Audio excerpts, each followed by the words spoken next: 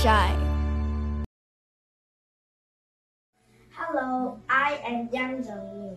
I'm going to talk about the movie that I enjoyed the most. I watched the movie Aladdin with my father during the summer vacation.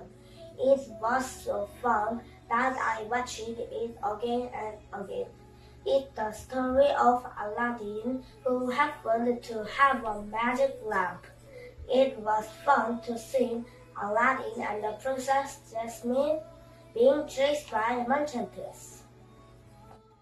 And the movie's OST was also impressive, especially Speechless by the Princess Jasmine is the most I like song.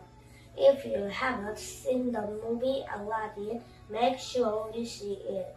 If I had a lamp, I would have wished 1,000 chocolates. Shh! Of course, it's a secret to my mom. See you next time. Bye!